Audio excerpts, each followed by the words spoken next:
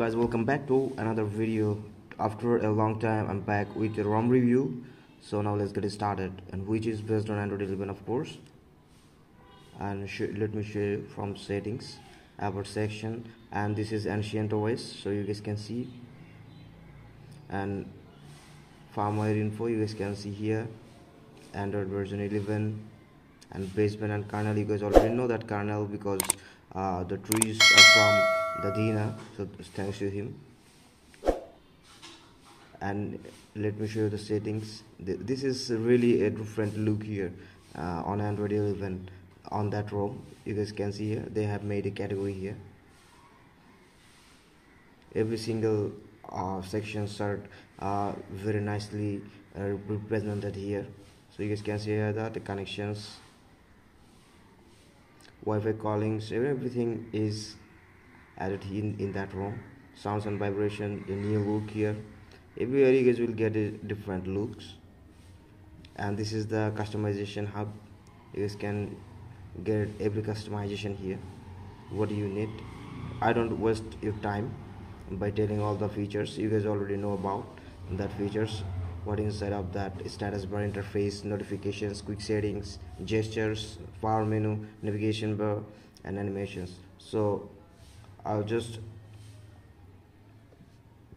move on to the next features which is display because you know you get um, the screen attention adaptive brightness and everything is just working pretty much fine double tap. And I will show you some things just uh, safety net issues and CPU throttling everything and about gaming everything and battery backup also. So no problem on that and they have made different category like and different name you guys can see here the biometrics and security. And we have built-in app uh, locker you guys can see here. You guys can log applications. No problem. And face unlock and fingerprint is pretty much fine and faster working no issues.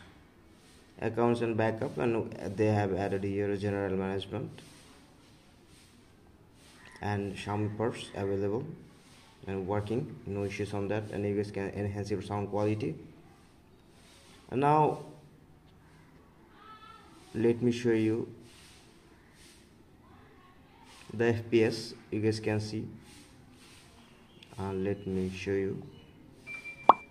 Always 60 fps and you guys will get uh, 60 fps on gaming also.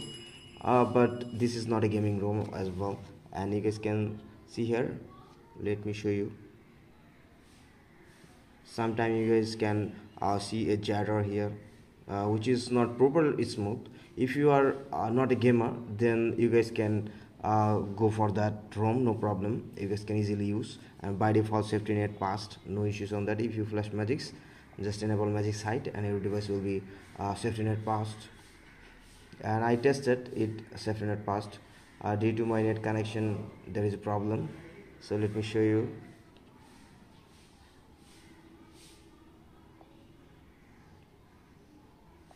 so you guys can see here as a safety net passed I have tested earlier. And interesting thing the CPU throttling the performance average uh, CPU throttle to 85% of its max performance. So you guys can uh, see here it's uh, up to you. You guys already know better than me. Is it good for you or bad? So it's my duty to let you know. So that's why I'm showing it and of course I made videos on that 2 Gcam you guys can see. Gcam which is working pretty much fine. That one and this one. So I already provided that video. And if you guys haven't watched yet that 2 Gcams video I'll drop the link in description or you guys will get on iCard. No issues on that. And those are the things actually in that ROM. And nothing special. And uh, let's talk about the gaming performance. I played games pubg mobile. You guys can see here uh, the pubg mobile i have played. And the fps uh, was 60 fps constantly. I got always. But problem was i was using module in uh, this is not a gaming ROM and it's not perfect for gaming. Uh, it was not smooth actually. Uh, it was not playable properly. So that's why um, you guys can't play PUBG Mobile using module as well. So I don't recommend you guys to use that ROM for gaming. And if you are a day-to-day -day user then you guys can go for it because RAM management is really good. So you guys can see here and built-in app locker everything is available and so many customizations are available. So if you are a day-to-day -day user then you guys can go for that ROM and so many customizations and different looks available here night light AOD gaming mode dark theme everything working pretty much fine. No issues on that. So you guys can see here everything is just working pretty much fine so it's up to you guys and that's the rom review and the calling uh, calling sound. Everything is pretty much fine. No issues on that. I checked. No problem. And if you guys really like that video then do subscribe and hit the bell icon and never miss the further updates. So thank you for watching